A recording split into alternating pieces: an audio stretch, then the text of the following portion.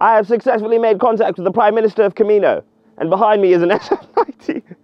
anyway, hello guys. As you can tell, I'm a massive Star Wars fan. It's raining, as it always is raining in the UK. That's why I've got my hood up. I'm not being an antisocial brat. But behind me, I have this wonderful spaceship or um, A-Wing that, see, Star Wars reference. I, I tied those two ends together. Um, Ferrari SF90 and today I'm going to talk about why this car got so much hate and why I think it's one of the most underrated Ferraris of all time. Uh, also, people tend to not like how it looks, but for some reason it's been getting more and more appreciated uh, the, the, more we go into time. So hopefully one day people will look back on this and realize the beauty that is the Ferrari SF90. I'm going to quickly go over the styling of the SF90 and some things people didn't like about it. The new uh, light design, people not really fans of. Um, I don't know why. I think it looks modern and futuristic. People said it looked too much like the F8 Tributo, but when I look at the two cars, I'm like, look, I'm to do a side by side here. Watch movie magic. F8 Tributo, Ferrari SF90. They don't look anything alike. Well, apart from the modern design and the black roof. Uh, uh, anyway, the lighting design is cool. Um, I like these three lines here. It's got this weird fin here that on the Assetto Fiorano pack made this section uh, a different color to the body of the car. And I think that also didn't help people's opinions of the car because it was so radical and so different. Since Ferrari left Pininfarina, um, this is one of the first cars that they produced. Uh, again, carking a lot of controversy. I think it's a beautiful looking car. It has some goofy elements, like the mirrors, I'm not sure if you noticed them. I wrapped them black for this reason, but they're extremely wide. Um, the car doesn't go in my garage with the mirrors out, yet my SVJ, which is a wider car, goes into the garage with the mirrors out. Um, I don't know, they look like big ears attached to the side of the car. Um, they came with black roofs as well, I think to hide the bubble roof. If you see a color matched roof on an SF90, it looks very strange, but in black, I think it looks a certain level of je ne sais quoi. Um, if we take a look at the side profile, it keeps the traditional Ferrari design language of having this big panel here. But it just looks kind of unfinished, which I understand. But again, it's a car that you have to let grow on you. And also, this is a new design language for Ferrari. It's not the same old, same old that we've got in the past. They're just trying to take a step into the future. And this was their first look, their first glimpse into the future of Ferrari. Um, I think it's an amazing looking car. I think it works well. The most controversial part of the design for me was round here at the back. Funny, I say round here at the back, but if you look back here, the, the, the rear lights are no longer round, and that is something that Ferrari have always done, and it's a beautiful feature. The 812 Superfast arguably had some of the best um, rear lights that I've ever seen on a Ferrari, and then they made them like little squares. And I don't think it looks that great. Uh, I think they've tried to redeem it with a Ferrari SF90XX, making them thin lines and then putting a light bar, but this could have been better. Uh, but yeah, the Ferrari uh, SF90, to me, I think it's a great looking car, but I just think people saw this and thought, wow, this is a very strange looking Ferrari. Uh, fun fact, I was uh, driving once with my wife in the car. We saw a Ferrari SF90. She saw it, this was before we had one, she saw it and she said, is that a Honda? I assume she got it confused with a Honda NSX. To me, it doesn't look anything like a Honda, but I understand the design language is just a lot more flowy than we're used to from Ferrari. And if you come over here and take a look into here, we have the heart of the Ferrari SF90. The twin turbocharged V8 is a 90 degree V, so it can sit very low to reduce the center of gravity in the car. And it's also accompanied by three electric motors and one battery. So um, we'll get to that in a minute. But again, like I said, it's raining. So let's jump in. We'll go on a little cruise and then I'll tell you about why I really like this car and why some of you guys didn't. I, again, I feel like people are starting to like this car. I'm gonna take I'm gonna I'm gonna take the the glory for that. uh, camera cameraman Lou said let's let's film the startup, and I said Lou man, it's the car's already on. It's a hybrid. It makes little space Jetson sounds. So if I go up close to it, the mic should have picked it up. I think the mic picked it up. It, it literally sounds like the Starship, Star, Starship Enterprise, Starship Alliance, Starship Enterprise. Um, oh yeah, another fun fact about the SF90. Look at the door. Look how much it doesn't open. That's the max. So you have to get in like, this seat's all the way back, by the way. Yep, it was all the way back. That wasn't easy. But uh, I'll do an engine startup now. So to start SF90, you have to put the engine into performance mode or qualify it. I'm gonna go into performance.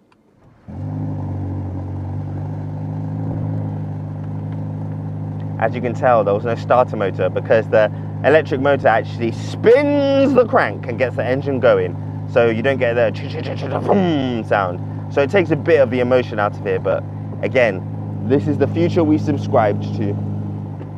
So currently driving the SF90, it's a, again, wet, miserable day. Um, number one factor of why I think uh, the SF90 probably didn't do well, well, this is number one, but the first factor I'm going to talk about. If you were going to test drive this car, or if you've bought this car, and you live, for example, in the UK, the car comes standard with Cup 2 tyres. In the UK, it's raining like literally 70% of the time. Um, although this car has four-wheel drive, Cup 2 tyres just do not provide grip. Four-wheel drive will not save you from uh, mere physics. So it means that in conditions like this, the car is very skittish and you have to drive it in wet mode. And when you drive the car in wet mode, it's even less engaging, and that is because in wet mode, the car disengages the front roll bar to improve comfort. So um, car has something called bumpy road mode. You press a button, the anti-roll bars disengage, and then the car's suspension can move independently of one another. So in wet mode, you're just stuck like that. So it's quite weighty, it's not direct, it feels super, super disengaged. And then the four-wheel steering system gets a bit overexcited as well in wet mode, where it's just eager to turn in. I mean, I get why it's like that because if you live in a sunny country, you're probably never going to be in wet mode. But in the UK or in Europe, I think you'll kind of struggle to really understand and experience this car. I mean, I've had the luck to um, have this car for over a year now, so I've experienced it in all conditions. When you're in sport or in even better race mode, in hot weather, the car is stupendous, it's incredible.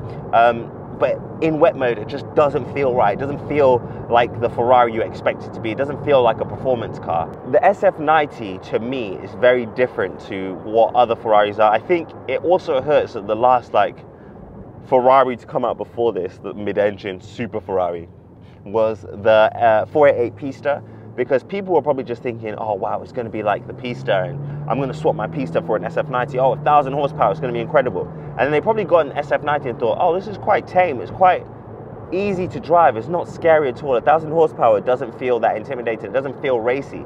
And I think Ferrari have changed their mentality when it comes to designing their cars. I think this car is more akin to a 911 Turbo S than it is uh, to like a 488 Pista. It just trying to get okay the maximum performance we're not caring about emotion we're not caring about vibe we're not caring about all that stuff.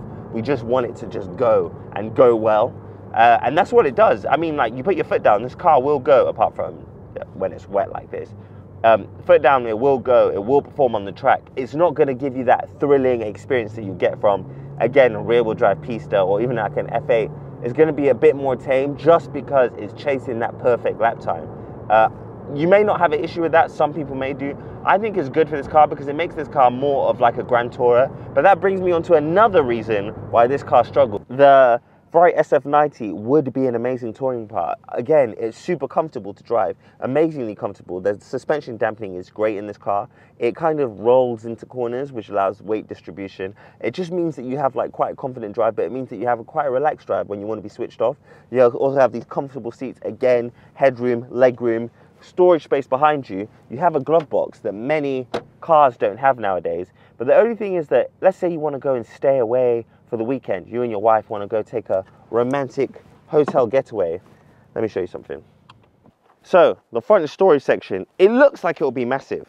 However, you will be deceived because when you open it, you have enough space for license plates, maybe a laptop, and half of a duffel bag. But you do get this wonderful display that says RACE, Race E, which shows the inverter for the electric powertrain. Um, and the front wheels, uh, because there's two motors on the front axles, uh, their, their space is just taken up. So unfortunately, uh, if you do want to have a romantic getaway with your wife, you're pretty much bringing nothing but underwear, which is a shame. Because this car is so good at doing like the cruising stuff, I like to take it on dates when I go with my wife it's immaculate at doing that kind of thing, but we can't never take it for like away trips or going away, which is really frustrating. And I just wish that we could. Um, but the Revuelto has front storage space, so we can put stuff in there. So we'll be using that. But this is just so much of a like sleek date night car. Um, oh, you also get the plaque there that shows all the options you have in the car. I love this car, and it's a shame that it didn't do well, or wasn't a success, I should say. I think people are just apprehensive of new technologies, new design language, and when people heard 1,000 horsepower, they assumed it was going to be like the next LaFerrari, but it's like mass production kind of Ferrari. That wasn't limited numbers. There aren't many around because again, not many people order them, and I personally think people are missing out. Aside from the lack of storage space, the incredibly difficult doors to enter and the constant errors that this car tends to have. You, you heard the car unlock, right? So why did the alarm go off? Definitely unlocked. Yeah, so this car um, had a few errors um, and people didn't realize you had to keep it on charge in order to uh, make sure the car works. So the hybrid powertrain is actually also the trickle charger. So the battery for the hybrid powertrains, once you plug it in and that's charged, it, it gives battery uh, life or power to the 12 volt battery in the front wheel well. And if you don't keep it on charge, your battery's just gonna die. So uh, people had a lot of issues with that. And obviously new technology, new software is quite buggy it was quite buggy, but it's received updates since then. Um, yeah, it's just, it's a shame. It's a shame. I think people will look back on this car and think, wow, a thousand horsepower and anyone could buy it. Well, if you had money. It was very expensive as well, which is also an issue. Um, so this car in the UK fully optioned for a uh, coupe version or Stradale that you call it. Um, you're probably looking about over 450,000 pounds for a decently optioned one, which is insane. Um, and it's even worse when you realize that on uh, the used market, they dropped to about 350,000 pounds. So um, you can pick a SF90 up today from Ferrari for about 350. I think it's a bargain. I don't think they're going to drop much more than that. Um, but if they do, my bad. Um, listen, I'm just here to give you the vibes, not financial advice. So currently on a twisty road, it's wet, so I'm not going to drive very fast, but I was just explaining that the traction system is so good in this car, there's no one behind me. I'll, I'll floor it in wet mode and you'll see how behaved and composed it is. Remember, I'm on Cup 2 tyres, which are basically slicks. Traction light was flashing for a while, but that was 0 to 60 quicker than other cars do 0 to 60 in the dry. So yeah, that is stupendous to drive. Oh my god, there's a big puddle. It's not like the busiest road in the world. So currently I'm actually quite low on fuel, so I'm gonna put the car over into electric mode because I, in this car, have 15 miles of electric range. So that means that you can uh, creep to your destination in absolute silence and bliss, which is convenient, especially compared to like the newer Lamborghini Revuelto, which has like five miles of electric range. But again, I feel like if you're a traditionalist, a Ferrari enthusiast, you're going to probably think of this as another thing, taking it further from your ideal Ferrari um, idea in your head. Uh, the car has a confusing amount of driving modes. So you have your Manettino switch on your right, which you have wet, sport, race, um, CT off, and then ESC off, which is completely everything off. Uh, those just control the internal combustion engine and the suspension setup of the car, so increasing the spring rate and the dampening. Um, and on the left hand side, you have the electric Manettino, as they call it, which has um, e drive, hybrid, performance, and qualifying. So basically, e drive is electric only, hybrid, the car will switch between um, internal combustion and the electric powertrain in order to get you the most efficient driving experience possible. Uh, performance mode, it will use mainly internal combustion engine, but it will allow the um, hybrid powertrain to drip feed energy into the powertrain for when you're like flooring it or when you're just cruising on the motorway. It will add additional e-drive performance. And then you have um, qualifying mode, which is balls out to 1,000 horsepower, unlimited uh, perfection and it will recharge the battery as fast as possible. It's supposed to be used for when you're doing like one hot lap, but I occasionally just drive with it when I'm on the motorway just because it makes the car as fast as possible. The interior of the SF90 is super overwhelming. I was literally just saying to Lou behind the camera that when I first picked it up, I was um, very much confused because there's so much going on. Again, the touch buttons are just numerous and they do so many different things. Start the engine, turn off the engine, electric mode, and then you have this to switch your drivetrain mode. To do your um, wipers, you have another knob and twisty thing. Then to flash the high beams, you have this. There's a lot going on, and because they're all haptic touch, it means you have to look down at them in order to press them. You can't just like remember where they are and just click them, apart from like this one switch here. Even to start the engine of the car is a touch button. All the air conditioning is done through touch. Adjusting your mirrors is done through touch. If your passenger wants to do anything, that's also done through touch thanks to this wonderful passenger display. It's a very strangely sized screen. Um, and fun fact, you can actually get your navigation up on there, which is weird. I'm not going to do that right now, but yeah, uh, they can see your performance and other things. It's just very, very modern. And I think the jump might have been too drastic for current Ferrari customers, where it went from being, oh, quite analog, quite simple, to the other extreme, where it's just everything's digital, everything's hyper modern. I feel like this car should have probably just merged the two together and then we go went to the fully futuristic one, maybe in like three, four years from now. Um, also, you have this weird um, thing. This got criticized when the car launched. This is to select your uh, drive mode or your gears. So you can have automatic manual launch and then there's reverse. Um, it's supposed to pay homage to the old gated manual shifters in Ferraris people thought it was corny, but I think now everyone's just stopped caring. Similar to the front of the BMW M3 and M4s, like everyone was insulting it at first, but then everyone just like stopped caring, which was kind of weird. You've got this curved or convex um, windscreen in front of you, great visibility out the side. The mirrors is quite terrible because they're just at really weird angles, so you can't really see what's behind you. Um, and speaking of behind you, you can kind of see out there. Ferrari care about people being able to see what's behind them. So um, they've divided the rear section so you can see into the engine bay and you can also see behind you, which is a nice and convenient thing. You can also see the spoiler move, so it moves under hard braking or when you get to really high speeds. Not that I've been to on really high speeds, but yeah it's a shame that people don't like it. I understand why people didn't like it. It was just very different. But I personally would take an SF90 over an F8 Tributo. Uh, I would take an SF90 over many cars. Um, think of it less like, okay, I want this to be like a 488 Pista or I want it to be like a LaFerrari. And think more of 911 Turbo. That's what this car is competing with. Even though it costs almost twice as much or more than twice as much as a, a 911 Turbo S, it gives you, um, I don't know, twice as much of the excitement, I guess. I, I would say, yeah. I don't know.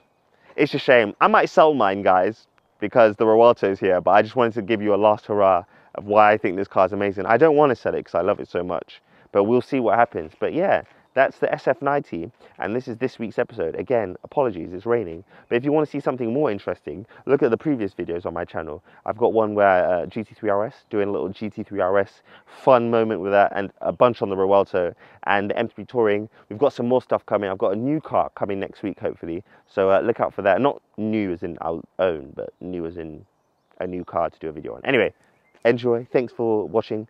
Please like and subscribe. And tell me, do you think I should sell this car? Do you think I should keep it? And please don't say, oh, keep it and sell the Revuelto. I'm not selling the Revuelto. But I think, I feel like I should keep it. I wanted to do a giveaway on it actually.